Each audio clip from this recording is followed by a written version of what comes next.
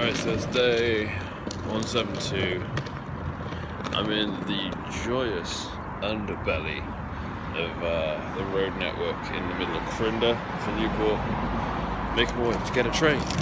Kind of early because I don't start till 1, but if I don't get a lift with my parents going to church, I have no way of going to work on a Sunday. So, that's fun. Uh, might have a light hangover today. Um, nothing too crazy because I didn't drink a vast amount, but my head doesn't feel overly overly clear. It's just a little foggy, so that's fine. But I can deal with that. It's not really a huge problem.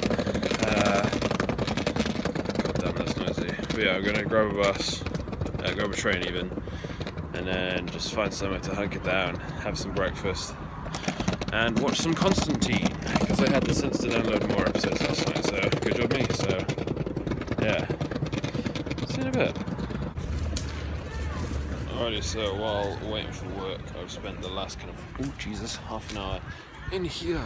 This is really like the uh, Pokemon catching area for this side of Cardiff. Um, there's three stops right next to each other, basically outside of the uh, museum that almost always have lures on them, so you can just kind of hang out and catch Pokemon. There's a Pikachu under somewhere. He's been eluding me, but I got a Seel, uh, some Magikarp, some Gastlies and stuff, so I'm farming the right stuff to level up the stuff I want to do, but uh, still no sign of the ones I need, so we'll keep at it.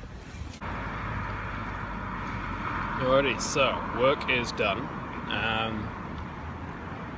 it's still sunny over there and shit. And I am sat outside New Park, uh, waiting for a lift home. Uh, my parents were down by the uh, the seafront, the other side of Cardiff Bay, um, so they're going to stop by here on the way back home. Um, shift was cool. It was alright. Average performance. Yeah, it was still good, but I always like to do better. Um, I mean, it was just reasonably eventful day, but for now, I'm just going to watch more Constantine. Let me bother to catch Pokemon now, and then uh, we'll see where we go from here. So, catch you in a bit. Alrighty, so it is three minutes to midnight, and I'm gonna be going to bed because I'm tired. Honestly, like since getting home, I've just been on the verge of sleeping anyway, and I've, I've just been kind of phasing in and out of consciousness. So I think it's about time for me to grab some of sweet sleep. So I'm, I'll be rested for my shift tomorrow. So if you're watching this, hope you had a good day. So ever, I'll catch you tomorrow for another vlog. Until then, peace out, have fun, and I'll see you in the next one where where, where I'm working again. Toodaloo.